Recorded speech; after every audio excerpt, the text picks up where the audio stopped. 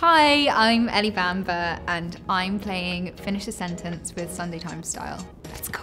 My full name is Eleanor Elizabeth Bamber. People know me as L, Els, but then when I was younger, I told everyone that they had to call me Eddie. My friends would describe me as energetic, mad, maybe a little bit wild and crazy. my selfie face looks like. I feel like I need to get my phone out. Uh, I'm not sure. I would describe my style as it's quite wild. I change it up every day, so it can be quite erratic. Dresses one day, joggers and things like that another day. My favourite designer is Chanel. My biggest idol probably the members of my family, like my mum particularly, and my brother as well. He's so hardworking. I definitely see him as an idol. My favourite song to dance to. Oh, can I have a look at my? Can I have a look at my phone very quickly? Because this has to be a good answer. I'm like determined. At the moment, my favourite song to dance to is "Mystery Lady" by Masego.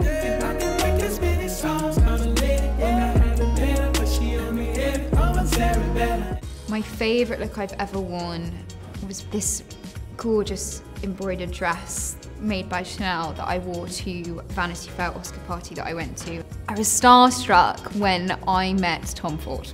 I met him when I was auditioning for Nocturnal Animals. I did have a little bit of a panic over what to wear beforehand and then I met him and I was I was very starstruck. Filming The Serpent was such an amazing experience and I loved being in Thailand and experiencing the culture there and the food.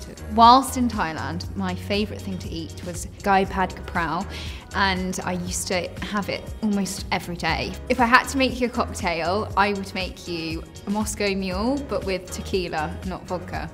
Important.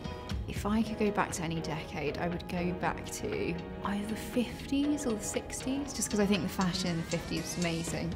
My life motto is to be kind, to have fun, and work hard.